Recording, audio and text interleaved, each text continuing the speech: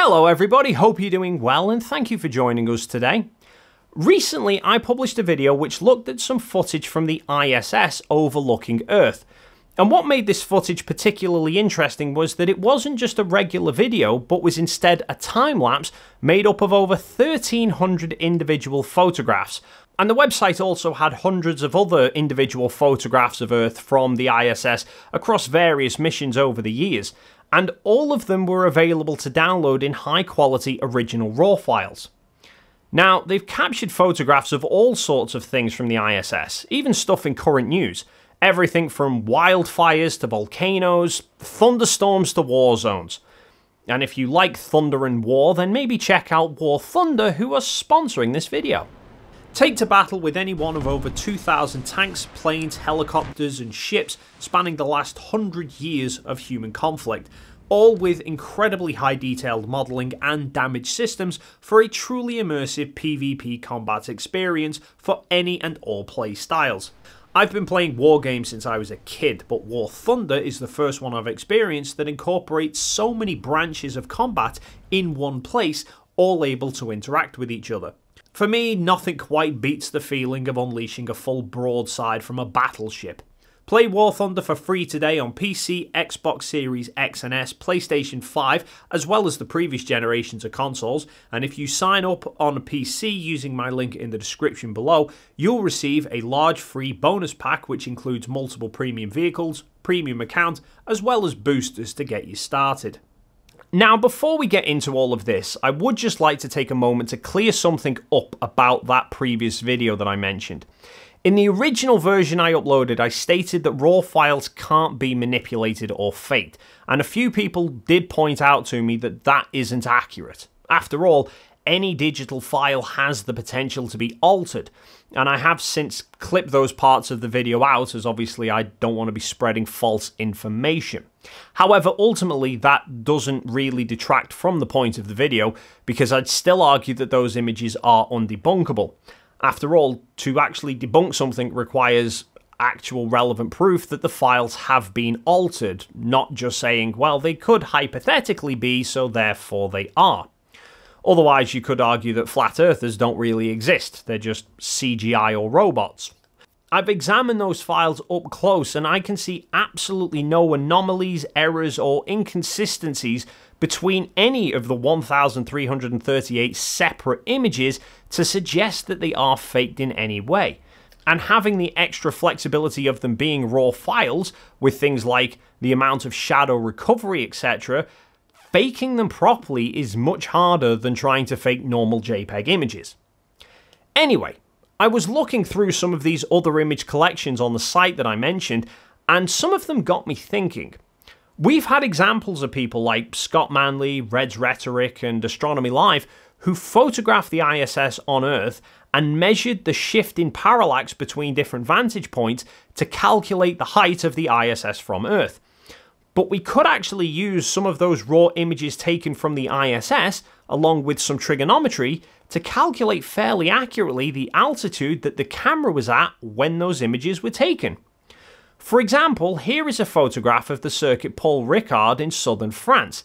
Now, it's clear that this image was taken from pretty much perfectly overhead, and the camera's EXIF data tells us that this was shot with a Nikon D5 DSLR with a 1600mm focal length which they've actually managed to get by using a Nikon 800mm f5.6 super telephoto lens fitted with what we call a 2 times teleconverter.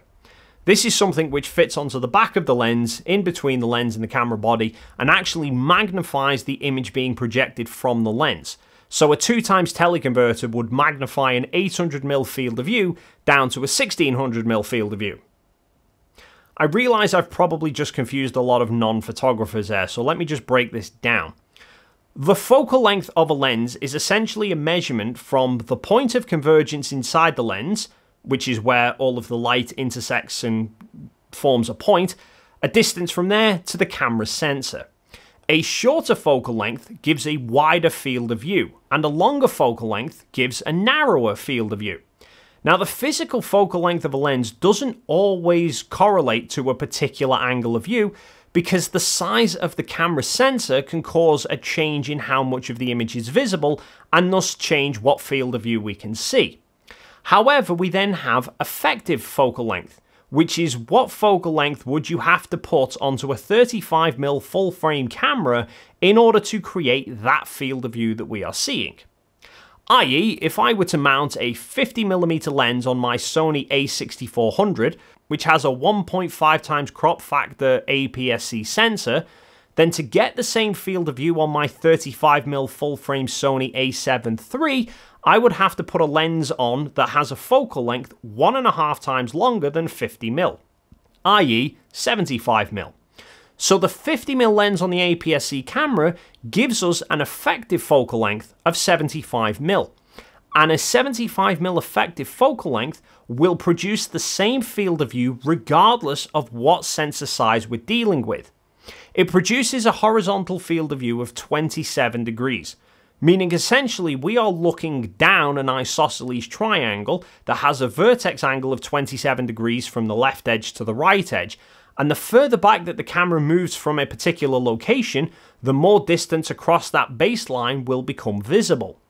Which means using a known field of view as a vertex angle, along with a known baseline distance, will allow us to work out the height from the apex, i.e., how high a camera with that particular field of view must be away from a subject in order to see that amount of baseline distance. So to test this, here I have a 75mm lens on a full frame camera, so this should be producing a 27 degrees horizontal field of view. I'm going to set up a tape measure against the wall, and then I'm going to place the camera one meter away. Now bearing in mind this is one meter from the point of convergence, which itself is about 7.5 centimeters from the camera sensor. So from tape measure to camera sensor, we're looking around 107.5 centimeters. Now, based on that triangle, with a height of 100 centimeters and a vertex angle of 27 degrees, our baseline should be 48 centimeters. Meaning if we were to place the camera so that the left edge of the frame aligns with the 0 centimeters on the tape measure, 24 centimeters should be in the center, and 48 centimeters should be on the right side edge. And we can use this same principle in reverse. Knowing the vertex angle and the baseline distance will allow us to calculate the height of the triangle. So using a field of view calculator, we can see that a 1600mm focal length on a 35mm full frame sensor like the Nikon D5 produces an image with a field of view of 1.29 degrees on the longest side and 0.859 degrees along the short side of the image. So that gives us a known angle of view for the lens. Now we need to work out how much of the Earth is that angle of view allowing us to see. For this, we'll take a look at Google Maps for Paul Ricard and the surrounding area. We can take a screenshot of that, bring it into Photoshop, and then overlay the raw image file from the ISS. And we can see that the long edge of the image runs from just above Le Castellet to this circular track at the top of the image. We can measure this on Google Earth and we get a distance of pretty much exactly 6 miles or 9.6 kilometers as the crow flies. So if we now plug in a vertex angle of 1.29 degrees, because we're measuring our baseline based on the long edge of the image, our baseline distance is 6 miles, which in turn produces a height of the triangle of 266.5 miles or 429 kilometers, meaning that that is how high the camera would have to be with a field of view that narrow to see that much distance across the surface of Earth. Or let's take this image, ISS 023-E-50442, which was taken back in May 2010 directly above the City of London. This was taken with a Nikon D3S along with a 800mm focal length. So still a full frame camera, and that gives us a horizontal field of view of 2.58 degrees.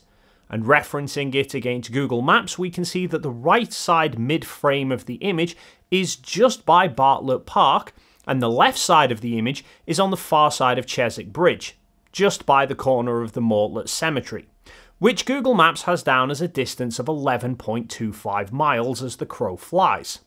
So once again, we take our isosceles triangle calculator.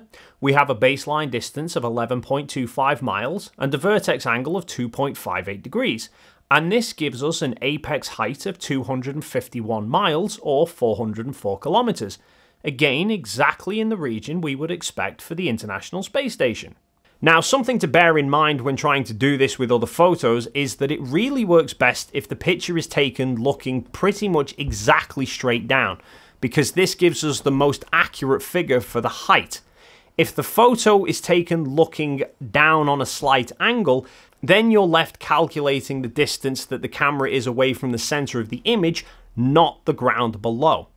Provided the angle of the camera isn't too much away from straight down, then you can still calculate the altitude, but you will have to take the GPS data of the image to see where the ground position of the ISS was, then use Google Earth to find out the distance from the ground position of the ISS to the ground position in the center of the photograph. That will then give you a baseline length. You then use a 90 degree angle for the opposite edge, and you have your hypotenuse length, which we've calculated based from the field of view. Now, this will only work with photos where the ground distances between the ISS to the center of the photograph aren't too far. Otherwise, you start to suffer increasing amounts of inaccuracy due to Earth curvature.